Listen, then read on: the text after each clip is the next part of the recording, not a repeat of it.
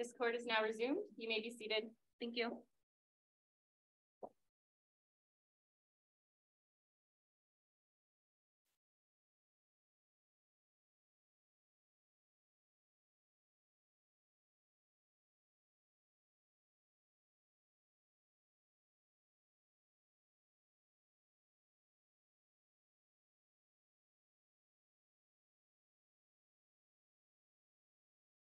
Whenever you're ready.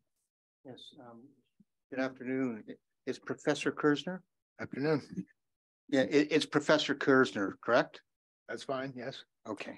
Um, Professor Kirzner, I've handed up to my friends and to the court a little booklet entitled uh, Eric Kirzner Cross-Examination Compendium. Okay. And I hope someone gave you a copy. I have a copy right here. And I may be referring to some of the things in, in this document.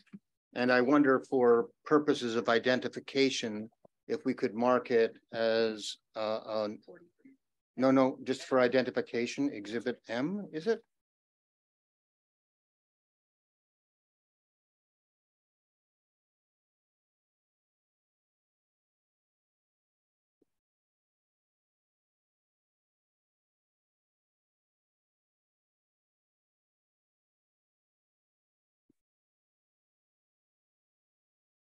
Yes. All right, so if we could mark that this document, Eric Kirzner Cross-Examination Compendium Exhibit M, I might have some questions for you and, and if I'm not speaking loudly enough and if you need So me, far, I can hear you fine. Okay, I tend to talk pretty loud, so, That's good for me. Okay, so. okay. Uh, First uh, question, I, I just have a couple questions for you that maybe you can help me in the court out. The first one is I want to stay with your slide deck seventy-six. If you can open up page seventy-six of your slide deck, which is towards the very end. And I'll wait for you to get there and then I'll ask you a question.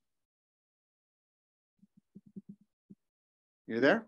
Yes, Now, Professor Kirzner, the judge asked you a question about, and, and this deals with the uh, time period about investing, um, and uh, you answered that it was in the, you said nineteen forty-five to nineteen fifty, then you, I think you also said nineteen fifty, and you talked about Sir John Templeton. But you phrased your answer in respect of individuals investing. Yes, I did. Yes. Yes. Now, you're aware of um things like the Harvard Endowment Fund. I am. and while individuals could only access the capital markets through mutual funds in the nineteen fifties, endowment funds and other uh funds did so much earlier. Sorry, I didn't, I hear the the last part of your question. Oh, Or the. Harvard Endowment Fund didn't only start investing in the stock market in the nineteen fifties, did they? I don't believe so, no. Right, and so the point is, is that for organizations or for endowment funds, these endowment funds were investing in capital markets long before the nineteen fifties. There were institutional investors that were active before the nineteen fifties, yes. They were active before the turn of the century in the eighteen eighties. There were some, there were some. How about eighteen fifty? Did you do any research on that? We're getting back to, maybe this is a historian's work, No, maybe you can't- I. Can't answer whether there were large uh endowment funds in the eighteen fifties, no. You, you don't know. No. But you do know there were some in the eighteen eighties. I do know. can you help the court with a date when large institutional investors would have been in the market or you just say sometime before eighteen eighty? Is that fair? Now, the market was still pretty well individually. I, I, can't give an exact date, though. I don't, I don't, I don't want to, I mean, I'd have to research that. Right. Okay. So the best you've got is eighteen eighty sometime. Somewhere around there. Okay. I wonder, sir, um, in your main report, um, I have a couple questions about that. uh, it's exhibit thirty-eight. Um, at times you reference a fellow by the name of Carl Beal. Do you remember that? Sure, he, he was the, he was the, he was an expert. I know, I know Carl Bill is, yes. Right, uh, now, now, i- i- this report is noted as edited on November 25, 2022, And one of the reasons I understand it was edited was to take out references to Dr. Carl Beal, who's not testifying. Pardon? My friend can help me if you, if, if she wants. Yeah, in fact, there were two changes made. It was uh, revised in November to add production numbers to make it easier. The footnotes, we added the Canadian uh, production numbers to correspond with their Schedule A. And then it was redacted in December. Oh, okay. Thank you. So it was redacted in December to take out reference to Carl Beal. That's my understanding. I had, Now, I've read through the report and at times Carl Beal's name is still in there. Should we be telling the judge that where you left references to Carl Beal in, it's not relevant to your report, or do we have to go through um, each section? Mr. Shacker, I think I'm gonna have to um be careful with this. I had nothing to do with the redacted report. That that's not within my. I can't decide how a report should be redacted. That's for the lawyers to do. So you didn't do the redactions at all. No, uh, that wouldn't be something I would do. Do you know who did do the redactions? Um, I would assume the lawyers did that. I I But- can't redact a report. Okay, but, but, but you don't know who did. Let me explain. I would have no reason to redact a report. I wouldn't know. Uh, under what circumstances a report should be redacted. And I don't have that type of training. Okay. So. When you say this is your report. Exhibit thirty-eight, it's your report, save for the decisions made. About the redactions over which you don't take ownership. Is that fair? Well, um, there's been portions that have been redacted that I assume dealt with, um, with, uh, Professor Beal, who I understand is not well or something along those lines, but. Yeah, yeah, my only point is you don't, As I'm saying, for whatever reason, portions of this report were redacted. yes. But portions of it still mention Dr. Carl Beal, and I'm wondering if there's a reason for that. Um, that is not something I could answer because I, I didn't do the redactions. Okay. Aside from the redactions, then, um, is it fair for me to say that both you and Professor Booth are joint authors of this report? Yes, I wonder, sir, if you could turn to your curriculum vitae. I have a couple questions for you. And your curriculum vitae is in your report. Starting at page seventy. Is it under one of the tabs? Yeah, Um, it's just, I don't have tabs in mine. okay. I found I it. just have page seventy in the top right-hand corner. I believe it's under mine, it's tab B, but I'm not. Oh.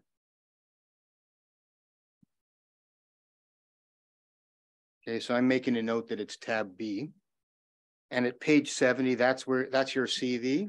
uh, yes, it is, yes. All right, now if you go over to um, page seventy-seven, there's a heading entitled Papers in Referee Journals. Right, And if you go over on page seventy-eight, it says papered in refereed conference proceedings. right. What's a refereed article? The referee journal is a journal in which um. Um. Someone has reviewed it and decided it was worthy of uh publication. So it goes through a peer review process. That's correct. Now, um, I note that you, your peer reviewed articles are all in the eight, nineteen eighties and nineteen nineties, save for two pages which were written in two thousand and one about hedge funds and two pages written in two thousand and two on hedge funds. Do you want me to take you to that or do you agree with that? Oh, I, I agree with that. I know that, yes. And when I said two pages, it looks like it was probably two pages in a journal and two pages. Um.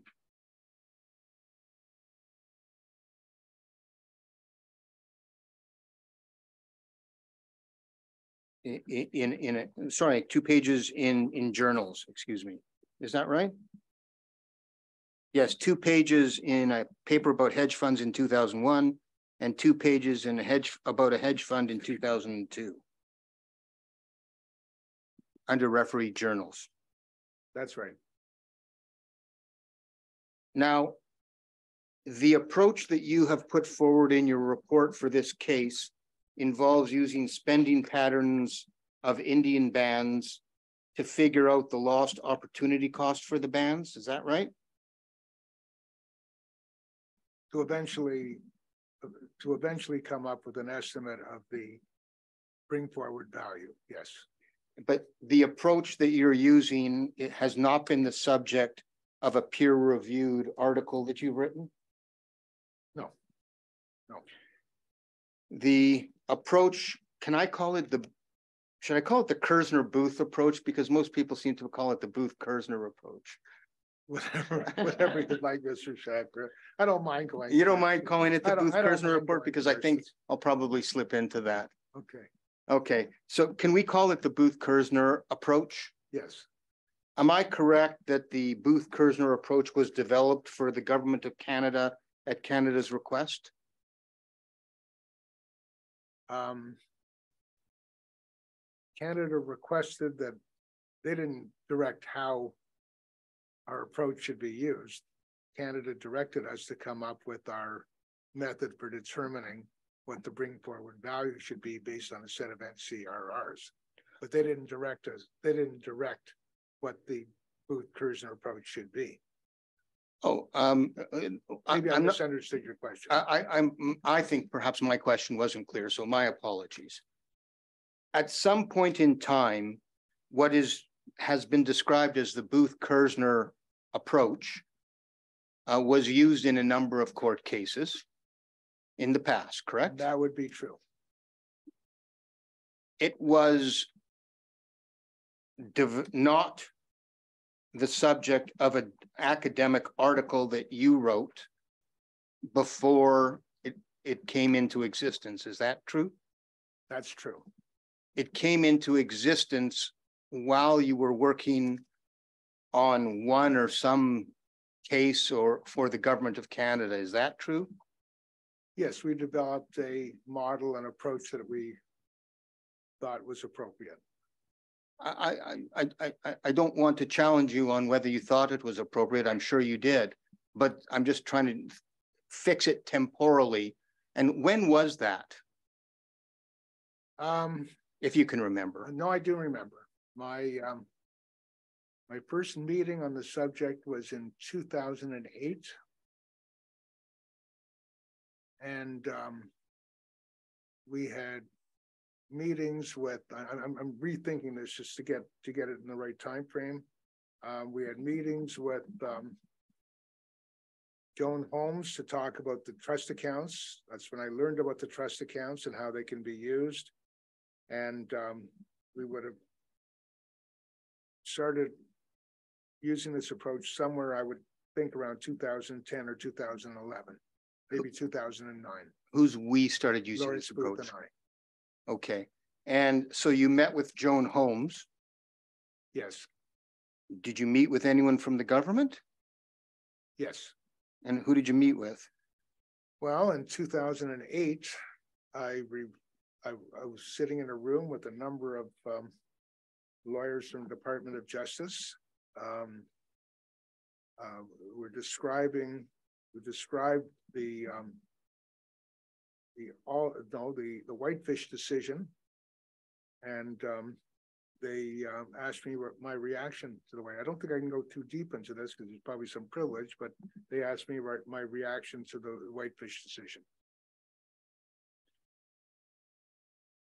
Um.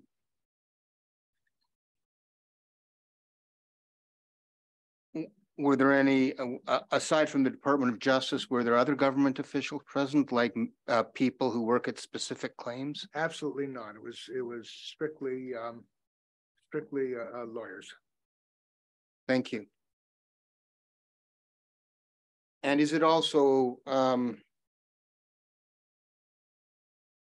Oh, no, I, I guess I, I would put it this way. In your approach. Uh, I noticed that, um, you allow for compound interest throughout historic periods, correct? Right. And, uh, do you think that's appropriate?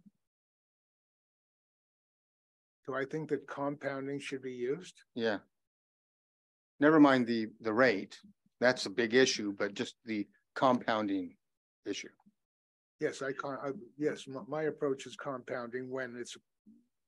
When the, yes, Thank you. Was your question, Mr. Shachter? Um, you, you notice that compound interest was, was allowed or used? No, through and, and, A historic period? sorry, uh, uh, th- th- so maybe I can try and rephrase the question a bit. Okay. You, um, you're an economist. Right. One of the jobs that you n- n- uh, know about is how to um, uh, figure out someone's lost opportunity over time. yes, And when you do that from an economics point of view, from an economist's point of view, excuse me, compound interest is appropriate. yes, Thank you. Now, at page third, oh. Um, looking at your CV for a moment. Um, I didn't see, and, and perhaps you can agree with me with this, you have no specific expertise uh, in Anishinaabe culture, do you? no, I do not. Um, you have no specific experience, experience in understanding the concept of Bimaadiziwin, do you? Concept of, Bimaadiziwin, have you ever heard of that before? no. Okay. Sorry, Well, I guess the answer is No. that you don't. answer is no, Okay, and I take it, sir, that you don't have any specific experience in Anishinaabe economic history. I do not.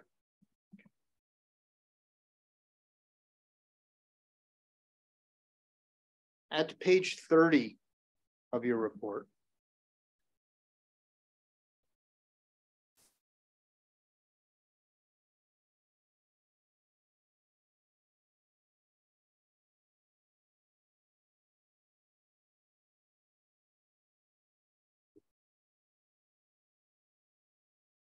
Under the heading, the Booth Kirzner compensation model.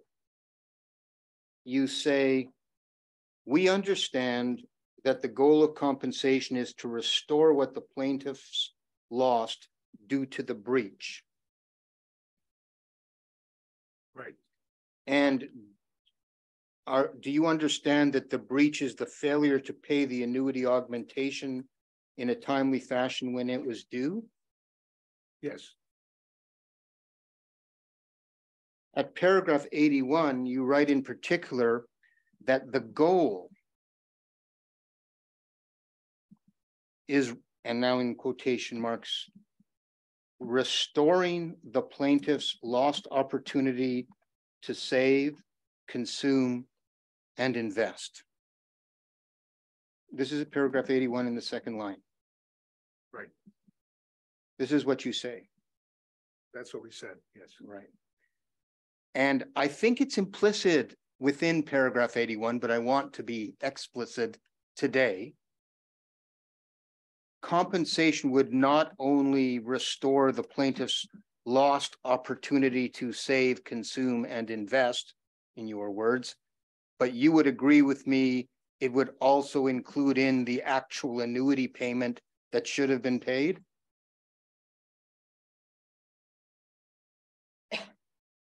I think they're the same thing, if I understand your question.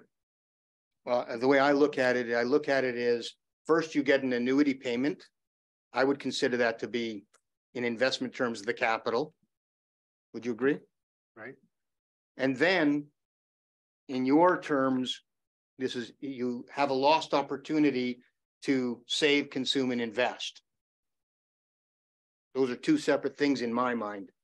And I'm, I'm thinking maybe you don't think the they're the annuity. Is what generates the ability to, um, to uh, save, consume and invest. So if you, if, for example, you receive the annuity payment and you didn't do anything with it, you just put it in, in, in the bank or the bank trust account, it would accumulate for hundred and sixty-nine years.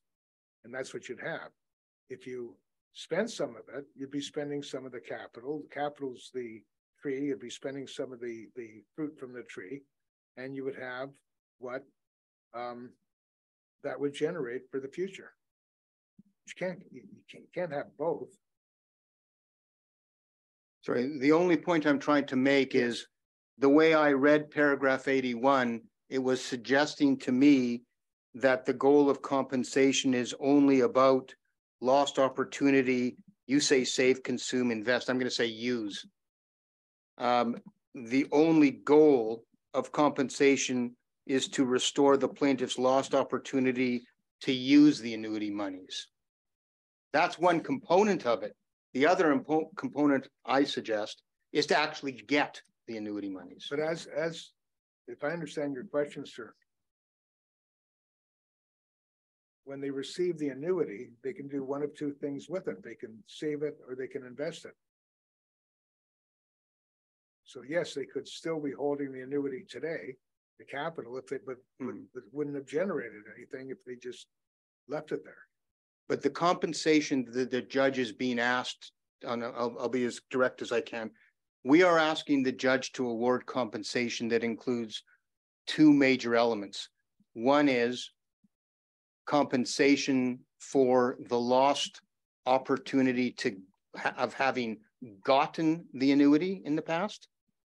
And so let's suppose the augmented annuity should have been ten dollars in eighteen fifty-eight. Right.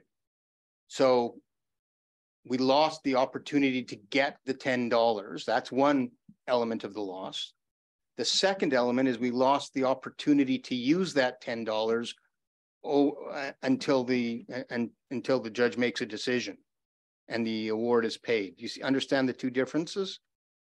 I understand the difference, but um. It may be outside my my framework um uh, in terms of how the of how this is um. Of how this is proceeding. Ten dollar. Underpayment. Is what you're asking me about. I, I'm asking you if the, if, the compensation would include in the underpayment. Yes, so so a ten dollars, say, which using your example, a ten dollar underpayment. Would, but would you agree that part of the compensation, part of the goal of compensation is to restore to the plaintiffs the underpayment? The goal, the goal of compensation is to restore the band to the position it would have been in. If it had received the underpayment. Right, but first it has to receive the underpayment it didn't get, right? No, but yes, but. The goal of compensation is to restore the band the position it would have been in if it received the underpayment. Which means, and I, uh, which means that either, any number of possibilities, they could have taken the underpayment and spent it. They could have taken the underpayment and invested it. They could have taken the underpayment and stuck it in the bank for the next hundred and sixty-nine years. Um, but if so, you, that's what they would get. I, I guess maybe I can try and square the circle this way. You would agree with me that if there was an underpayment of ten dollars, never mind what they did with it, might have done with it. The judge should award them ten dollars.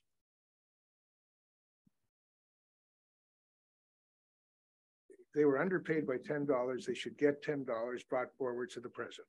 Thank you.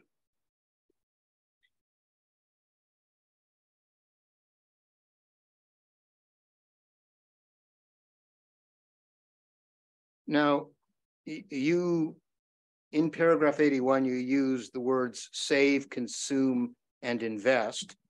And in your answer to me, you use the words save or invest. Okay, Um, am I correct that saving and investing are the same thing? um, yes, but we use them, we, we did it, we distinguished saving where, where money is left in the band trust account and investing where, um, the band, uh, invests in, um, real assets or in financial assets. And we didn't use financial assets, but, um, um, they could, uh, invest in real assets.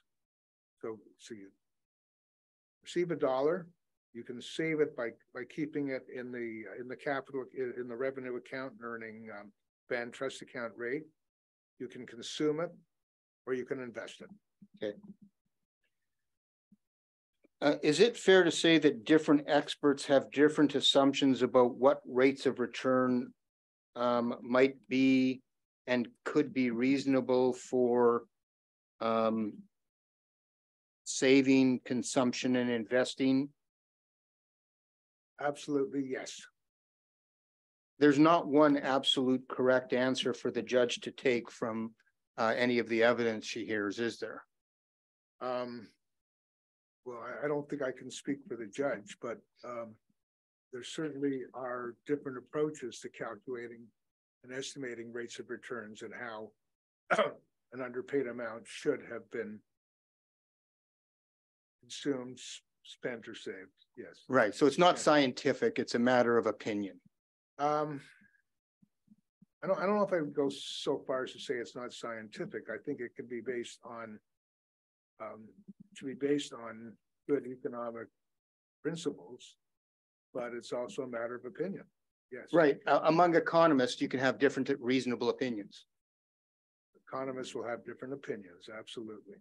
And they can have difference of opinions on rates of return. Absolutely. And if memory serves me correct, one, in this case, there is differences of opinion about rates of return. Yes, and I, and I really hope that I emphasize that today in my, uh, in my, in my testimony. Okay. Now, I wonder if we could for a moment turn to Exhibit M, the compendium.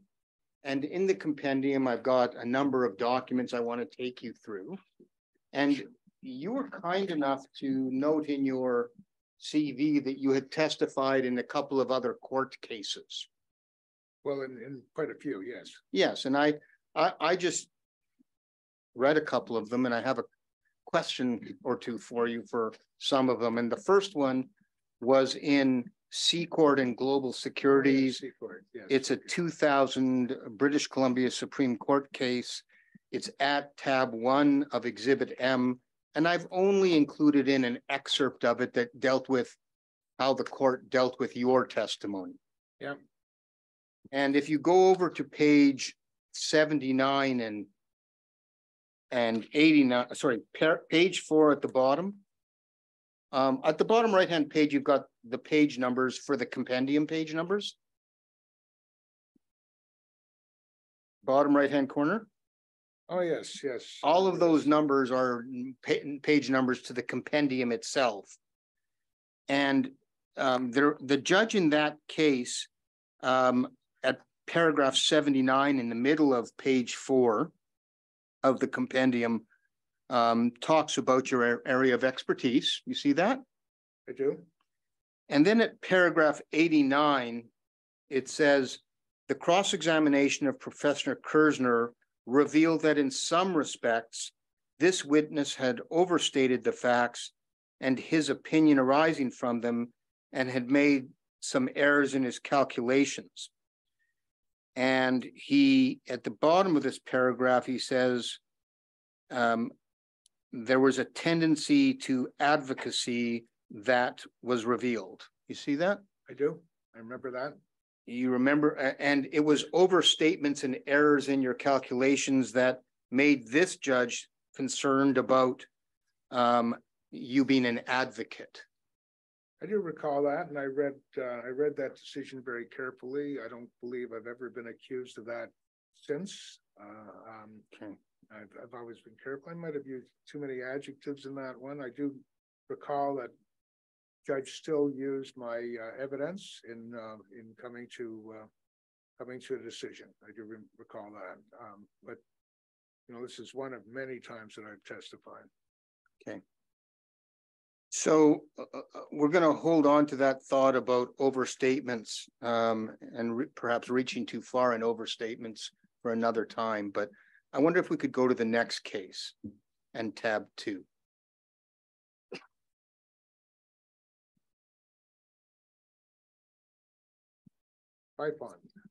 Th- uh, uh, At tab two, we have the case of Vipond and um AGF Private Investments Management, a two thousand twelve case of the Ontario Sup- uh, Superior Court. Do you remember that case? I do.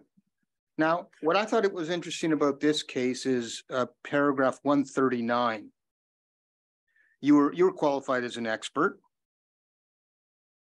And at paragraph one thirty-nine, it says Professor Kirzner provided opinion evidence on whether AGF suitably managed Mr. Vipond's account, and more specifically, whether the investments and the structure of Mr. Vipond's account were suitable in light of the circumstances, objectives, and risk tolerances in described in Mr. Vipond's account opening forms. See that? I do. And you have a fair bit of experience in appropriate investment structures. Is that true? Yes. Um. Um, I appreciate in this case, the judge may not have uh, um, accepted your calculations. But that's not the point of, that I want to emphasize right now. Um, so when you want to examine what kind of investments someone should have, you have to look at their objectives, their risk toler- and their risk tolerances, right? Objectives, risk tolerances, investment horizon, um, financial circumstances, um, uh, those are, oh, investment knowledge, investment experience are all, all key factors in determining what is suitable for the client. Right. Now, if you go over to. Excuse me.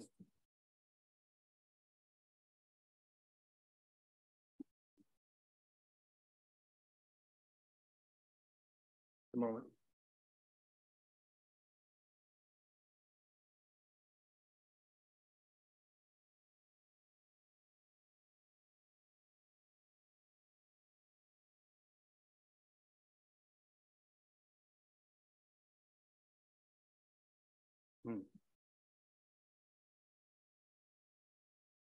We go to your instructions, sir.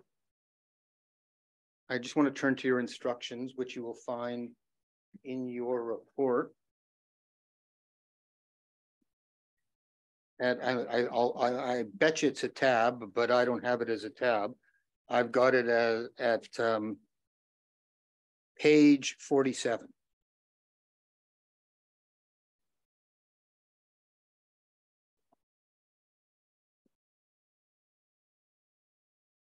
Yes, All right, at page forty-seven, we have your append, oh, it says appendix A at the top, but I don't have a tab. What? Um. It's dated July eleventh, twenty twenty-two. yes, Yes, and um, if you go over on page uh, forty-eight of, of the report, you were told to assume that the First Nations could decide for themselves how the band could distribute monies from the annuity augmentation paid by the Crown to the Anishinaabe. Is that right? okay, could you just direct me to the. Yes, it, it, it, it, um, i- i- i- about the middle of the page, there's a paragraph starting, of course. Oh, yes, uh. Oh, of course, Oh, regardless how the Crown might exercise its discretion in consultation with the First Nations to determine what portion of the collective annuity should be distributed by the Crown to individuals, the First Nations themselves may make their own determinations as to if and how they distribute amounts from the collective annuity to individual band members. Right. In exercising this discretion, the First Nations might have regard to their own systems of law and governance. See that? I do. Now, right after that statement, there's a reference to experts' reports of Dr. Stark, Dr. Bohaker, and Dr. Driben that may provide useful information in this regard. Now, um, Dr. Stark and Dr. Bohaker are not testifying, and their reports are not before the court, but Dr. Driben's is. And can you tell me, did you take into account what Dr. Stark, Bohaker, or Driben wrote in forming your opinion? Um. I don't believe that, I'm sure that the reports were just fine, but they would not have been relevant to what I was doing.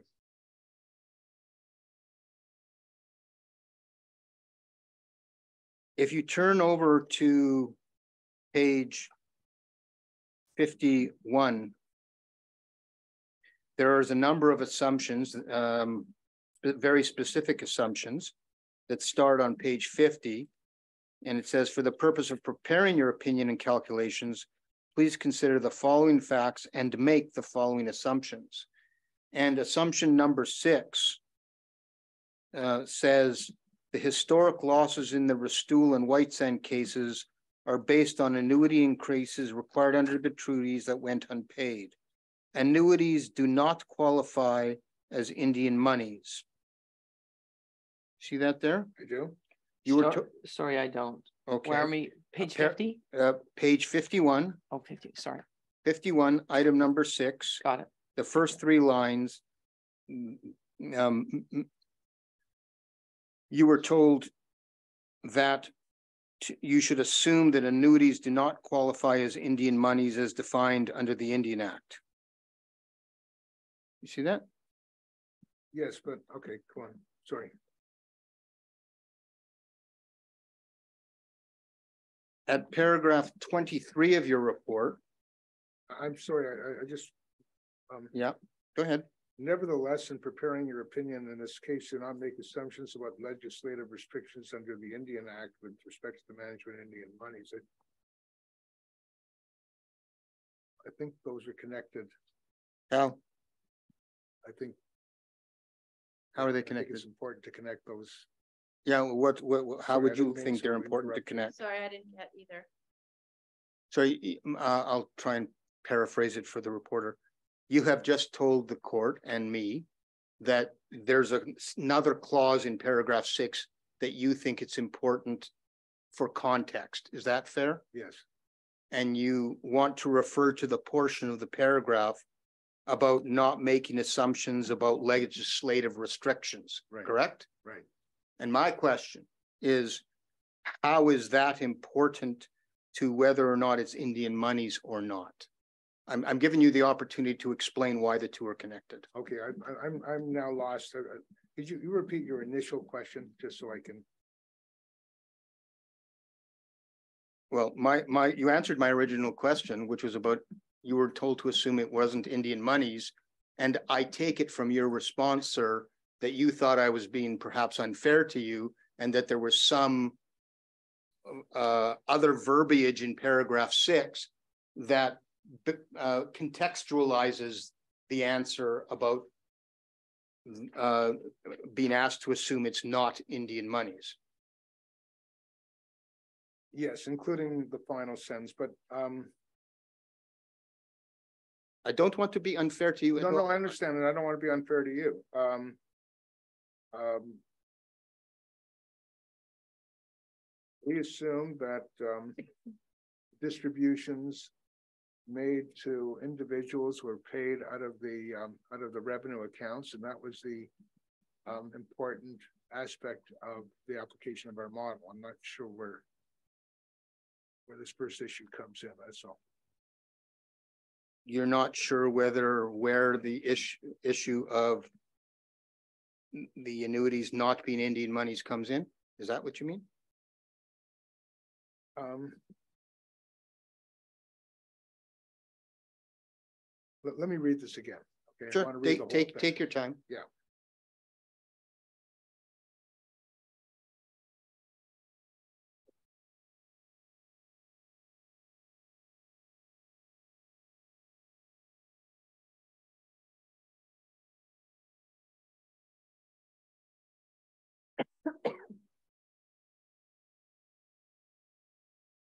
Okay, I- I- would you, would you like to provide an answer I- need or, to hear- I need to hear your question again. well, my question was, you were told not to assume that annuities are not Indian monies. I believe we were not told that. You were not told that. So you're instru, you did, I'm sorry. I'm, I'm a little bit confused. Paragraph six says to assume that annuities do not qualify as Indian monies, and you're saying you did not, you were not told to assume that?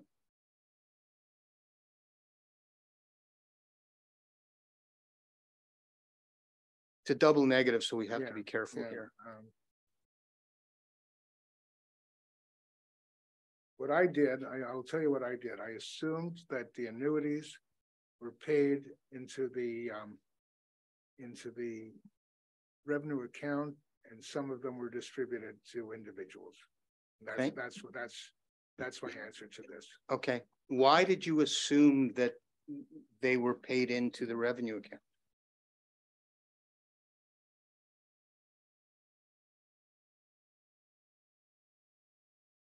That's been my experience with, um, with underpayments, that they were paid actually into the capital account, then into the revenue account, and then distributed to individuals. And that's, that's the way I believe it happened. Um, when you say that's the way you believed it happened, I don't think the payments have been made yet.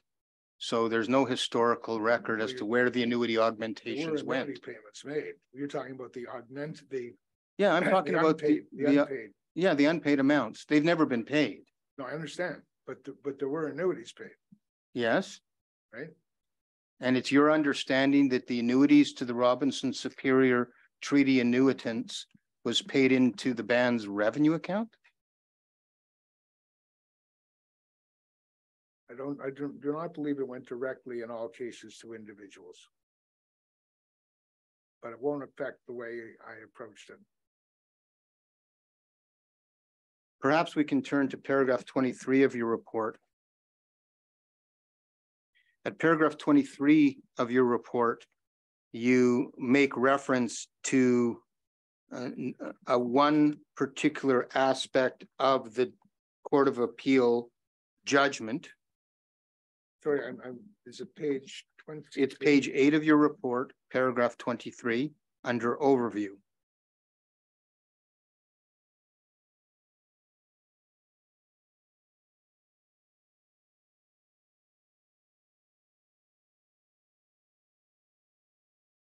Have you found it? I, I have, All right, and in the middle of, set off in the middle of- in the page at paragraph twenty-three is an excerpt of paragraph one E from the judgment. Do you see that? are we in paragraph twenty-three? We're in paragraph twenty-three, and there are words set off in the middle of the page that says, "The crown shall, comma, in a manner consistent with the honor of the crown, comma, consult with the First Nation treaty parties to determine what portion, comma, if any, comma, of the increased annuity amount is to be distributed by the crown to the individual treaty rights holders in addition to the four dollar per person per year they are already being paid, semicolon. You see that there? I do, You then say at paragraph four, and notwithstanding your, the instructions, you say, we interpret this passage as asking us to deal with both the augmentation of the annuities through payments beyond the current four dollars. That would be to individuals, correct? Yes, As well as the deposit of funds owed as annuities into the band trust accounts. See that there? yes, What, am I correct in understanding that you proceeded with your report on the understanding that all annuity funds would initially go into the band's revenue and then the trust accounts? actually, it's, it's, it's not relevant to my model. Because we didn't deal with the flows. We, we, we, we dealt with, um, with the spending patterns of the band, Well, so. go back to page fifty-two of your report, which is part of your instructions. And it says, assume, and this is the top of page fifty-two. You were asked to assume reasonable investment scenarios based on relevant factors other than legislative restrictions or policies under the Indian Act. See that? Yes, yes, you did not, in your report, consider an investment scenario whereby the band, the individuals, the band would receive an uh, annuity augmentation monies and would not put it into the band trust account, correct?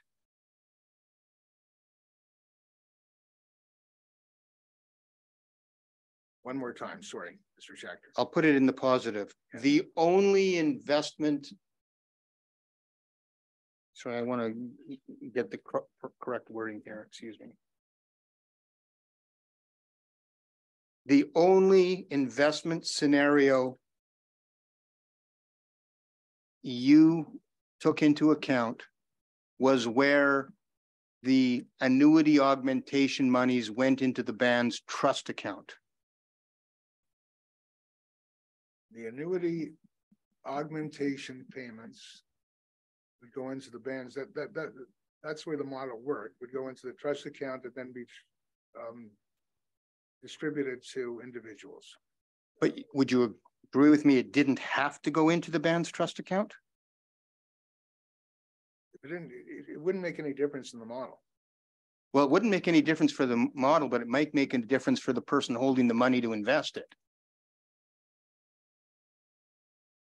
Key point is where does the, where does the dollar end up and how is it spent? That, we do, we fully deal with that. Well, let me, you, you, you're an expert. Let me put a hypothetical to you before we break for the day. Um, if you have a group, say an Indian band in nineteen eighty-seven that gets ten dollars by way of, now let's be more realistic. Let's suppose it's fifty thousand dollars by way of an augmented annuity. Now, there's nothing that says in your instructions that you would have to assume that that money went into the band trust accounts. You agree with that? No, in your hypothetical 1987 50 thousand dollar augmented annuity could have gone directly to, um, to individual band members. It could have gone into the, uh, into the account, depending on the Well. I'm asking you to assume that it, that it was a payment to the band, not to individuals. okay, if it was paid to the band, to, sorry, to the individuals. Is that what No, you're- I'm asking you to assume that it was paid to the band collective. Okay, it was paid Okay. to the band collective, yes, Okay, I'll use, let's say, I'll use one of my clients, the Red Rock First Nation. fine. So Red Rock First Nation gets a check of fifty thousand dollars. I'm, I'm, uh, uh, I, I have no idea which crown it would come from, but we, there's a payment made to them of fifty thousand dollars in this hypothetical. Yes, In this hypothetical, where they get fifty thousand dollars, there's nothing in your instructions that says they had to put it in the band trust account is my point. no, that's right. But you assumed it would go into the band trust account. Why? I didn't have to assume that because I, I'm- I'm not using the flows. I'm using fifty thousand dollars, um, received in, in nineteen eighty-seven. Um, what would have happened to it? Some of it would have been distributed to individuals. Yes, some of it would have, would have stayed, would have gone into the, into the band trust account. That's correct. Yes, Well, could, could the band not have taken it and invested it in Templeton funds? in nineteen eighty-seven, it could have. That's not the band trust account. No, but, but they could have taken it out of the band trust account, put it into the Templeton Growth Fund. But it didn't have to go into the band trust account at all. Why do you assume it had to go into the band? Where would it go? account? Well, the band might have its own bank account? Could have gone into the band's bank account. Thank you. Yes. I think now might be a good time to break for the day. Thank you for your time and we'll pick it up tomorrow morning. Okay. Um, I'm just going to remind you, sir, but you seem to be very familiar with this. Sorry? I'm just going to remind you, but you seem to be very familiar with it. You're not to uh, discuss your evidence with anyone during this period of time overnight. I'm aware of that, Your Honor. Um, Thank you. if, if if it's okay, I will take a lift back with the, um, if that's okay with, uh, the justice, but I won't talk to them about anything except the weather. You make sure of that. Yeah. All right. You- Um, You can talk about recipes or dinner suggestions You've too. got some good ones, I will. Okay. Thank you. Okay. Um, so we're breaking until tomorrow and how can, uh, um, we can go off record now. Thank you. And how do you see your, um,